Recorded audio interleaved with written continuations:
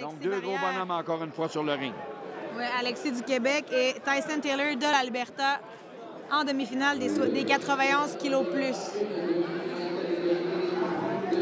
Et là, Bernier il vient de passer près de nous.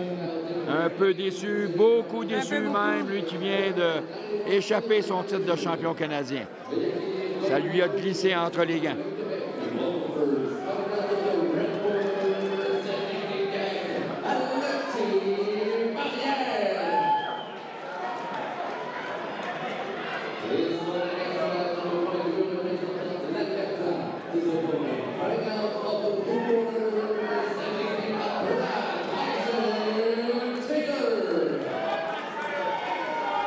Encore une fois, deux gros bonhommes sur le ring.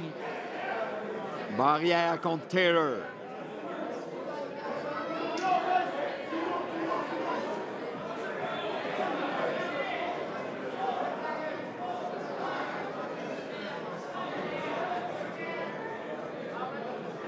On a vu un Pana très content de sa victoire, là, sa victoire sur le champion canadien. Euh, Saluer ses partisans. Gaucher contre droitier. Barrière gaucher.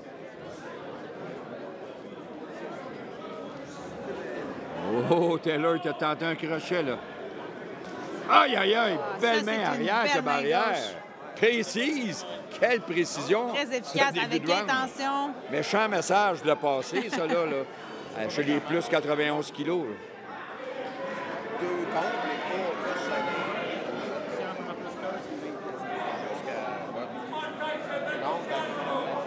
Convaincu que Taylor euh, sentit cette puissance-là. là.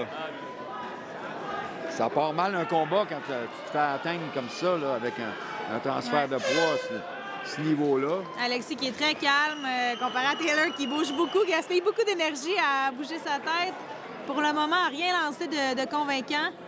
C'est Alexis qui s'impose avec ses belles petites gauches. Taylor doit s'approcher, lui, euh, de, Barrière à distance. Là. Euh, Barrière semble vouloir étirer ses, coups directs et euh, ça va sûrement l'avantager. Donc, Taylor, là, c'est beau se donner des angles, mais il va falloir à un moment donné qu'il passe à l'attaque.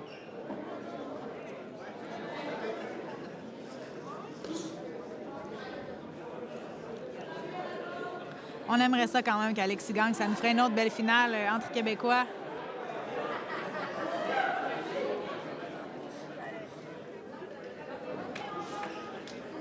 J'aimerais ça le voir lancer un peu plus en combinaison, par contre. La gauche est belle, là, mais ça nous prendrait un 3 ou un 4.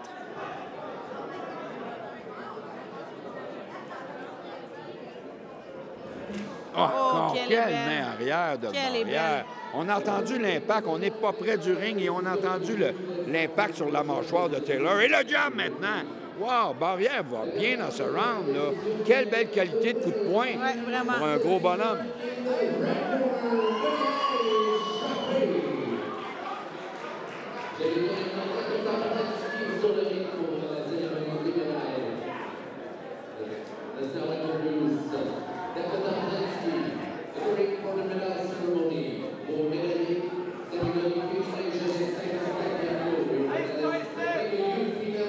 Taylor là, doit vraiment là, se mettre à l'ouvrage parce qu'il y a encore. Oh, la marrière!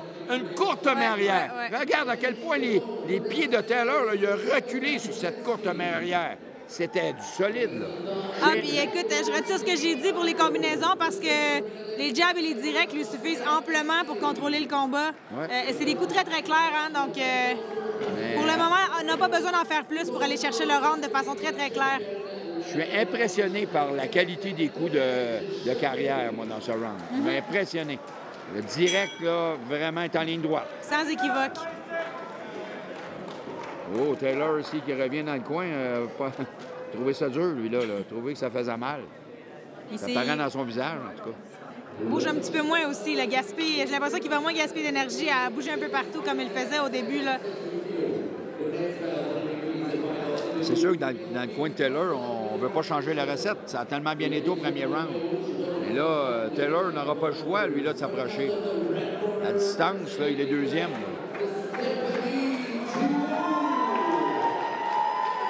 Il a tourné, tourné, tourné pour se chercher des angles qu'il n'a jamais trouvé finalement. pas capable de s'approcher. Alexis qui utilisait très bien sa portée, très simple, très efficace.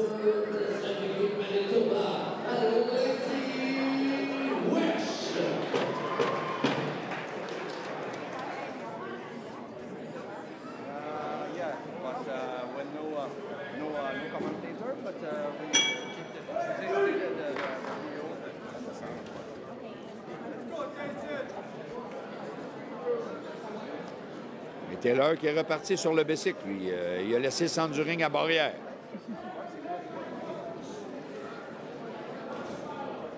C'est bien barrière, étirer ses bras comme ça. Il a l'avantage de la portée.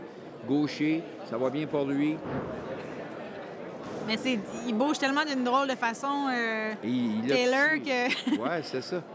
Il était, il fait bien de garder ça simple. on- il était étourdissant.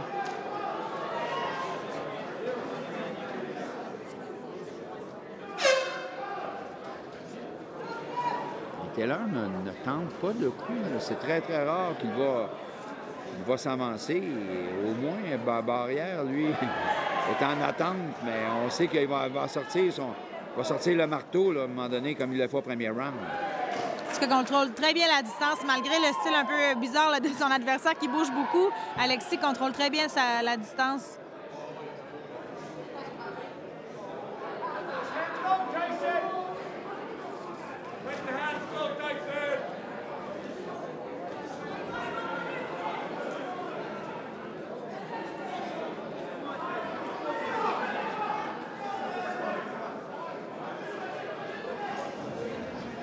Et là, maintenant, Taylor, qui a tenté une combinaison, mais ça n'a pas touché. Sincèrement, jusqu'à maintenant, Borian n'a pas été touché. Et, et même, il a levé ses mains, ses bras, bien bloqué les coups. Premier petit coup de poing, un petit crochet qui a touché, mais sans Rien vraiment d'impact. Non, rien de dérangeant.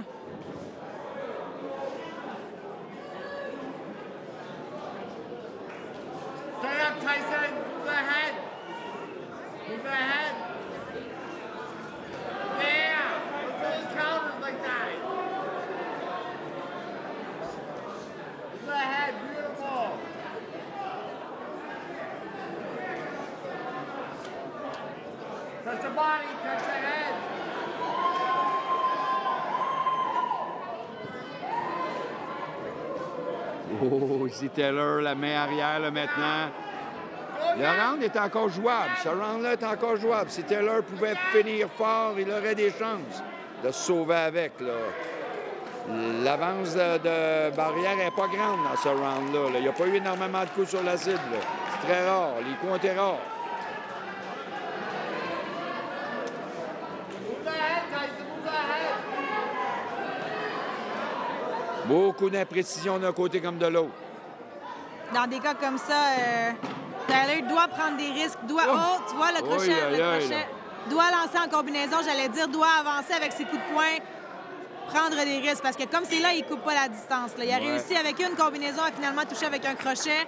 C'était vers la fin du round. Pas assez, à mon avis, pour prendre le round, mais une belle Round. fin, une meilleure fin, en fait, quand même. Round relativement serré, donc euh, troisième, le, combat est encore jouable. Aussi, le médecin qui s'approche pour regarder le visage de Taylor, lui est plus près de nous, il y a sûrement quelque chose qu'il a vu. Il s'est avancé pour regarder le visage de Taylor.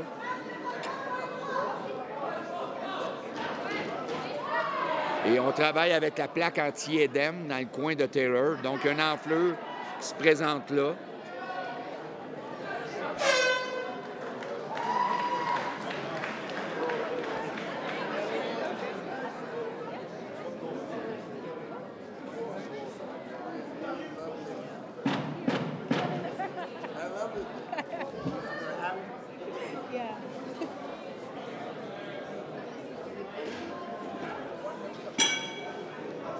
Excuse-moi, Bernard, je viens de voir notre Olympien, Adam Troupiche. Oui, qui Adam salué. qui avait été notre seul Olympien en 2008 à Pékin, euh, notre orphelin de 2008, et qui avait été aussi aux Jeux olympiques de 2004 à Athènes, euh, un des, des grands boxeurs de l'histoire, double Olympien. Et qui est là comme coach ici au championnat canadien, qui vient de me dire qu'un de ses boxeurs vient de gagner, euh, vient de remporter l'or. Alors, euh, je suis bien contente qu'on l'ait recruté, qu'il reste dans la famille Ben oui. boxe et qu'il soit devenu entraîneur. Euh, Ça faisait un petit bout qu'on l'avait pas trop vu dans la boxe boxeur qui a connu une longue carrière chez les amateurs, une plus courte chez les professionnels.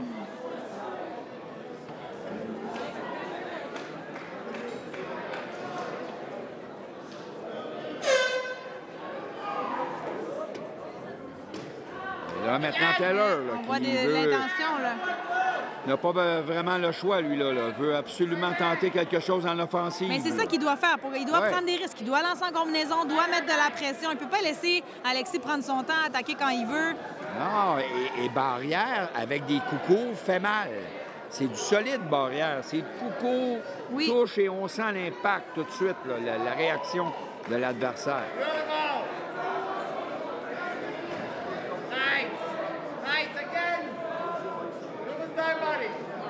Barrière qui a eu le contrôle du centre du ring tout le combat. Et euh, Taylor a dépensé beaucoup d'énergie à se déplacer sans vraiment trouver de solution à pour s'approcher. Barrière qui dérange Taylor avec son jab. Donc on sent que Taylor va essayer gros coup. Là. On le sent venir. Là. Écoute, rendu là, il n'y a plus rien à perdre. là. Il n'a pas levé le drapeau blanc, lui. Il veut, veut vraiment là, tenter sa Ah, chance. belle combinaison. Oui, c'était court, mais c'était sur la cible. C'est varié, surtout a fini avec un beau petit crochet.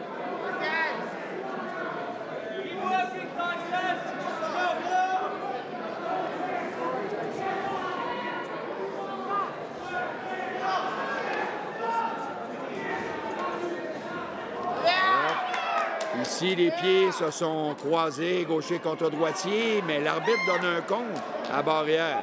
Là, je suis. euh, Je suis très surpris de ça, mais coudonc. C'est pas ça qui va faire la différence dans Non, le je pointage, pas. heureusement. De toute façon, euh, Et c'est une chose que les gens savent pas, qu'il y a une différence entre les comptes en boxe professionnelle et en boxe olympique. Euh, en boxe olympique, en boxe pro, on, va donner un 10-8 et un 10-7, par contre, s'il y a un compte de 8 et un autre. Donc, on accorde normalement 10 au boxeur qui gagne le round, 9 à celui qui le perd. Et si en plus, celui qui perd un, un compte, on donne 18 et ainsi de suite. Mais en boxe amateur, s'il y a vraiment une grande différence de niveau entre les boxeurs, c'est là qu'on va accorder un 18 et même un 17. Et, et les chutes au plancher ne comptent pas. Et là, c'était un, bon affrontement de ces deux boxeurs, combat relativement serré. Il semble qu'en temps normal, Barrière devrait s'en tirer avec la victoire, mais tout est possible. On va attendre. C'est certain qu'on va être anxieux.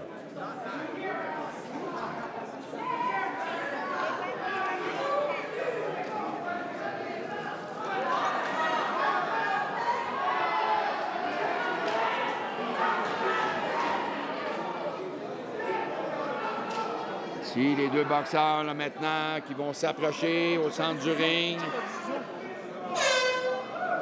Est-ce qu'on aura, un affrontement entre deux boxeurs du Québec? On sait que là, Pana a détrôné Bernier.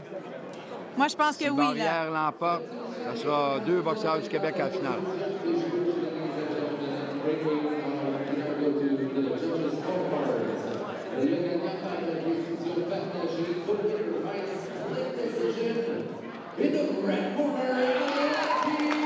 Eh oui, ça sera une finale entre deux boxeurs québécois. Barrière avec ses coups solides réussi à, à se démarquer.